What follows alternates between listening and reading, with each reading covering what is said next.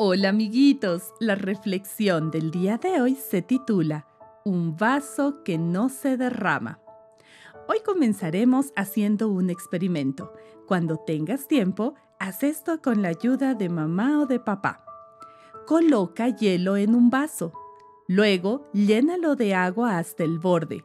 Cuida de que no se derrame. Y espera. ¿Qué pasará cuando el hielo se derrita? ¿Crees que se desbordará el agua del vaso? Si esperas a que se derrita el hielo, comprobarás que el nivel de agua será el mismo.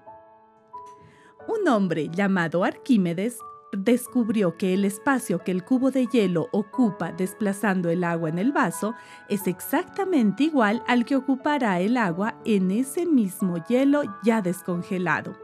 Así que si el hielo se deshace dentro del mismo vaso, la cantidad de agua será la misma, no cambiará. Querido amiguito, ¿conoces a alguien que cambia de estado de ánimo con frecuencia? Hay personas que ante cualquier pequeño problema o dificultad cambian de aspecto su cara y su corazón. Hay niños y niñas que si sus amigos no les prestan sus cosas, cambian la sonrisa por una cara larga y hasta prometen que ya no serán más amigos.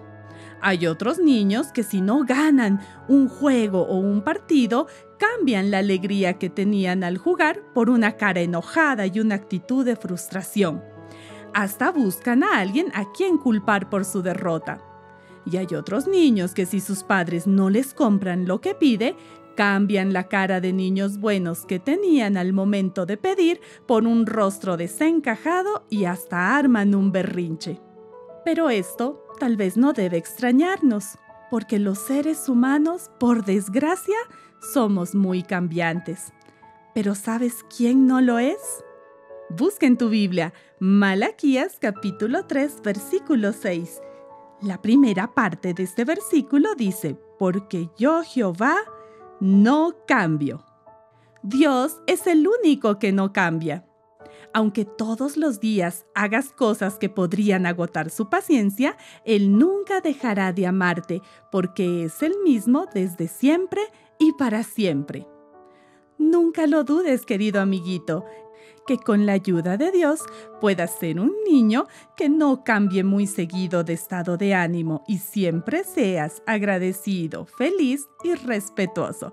Que Dios te bendiga. Hasta la próxima reflexión.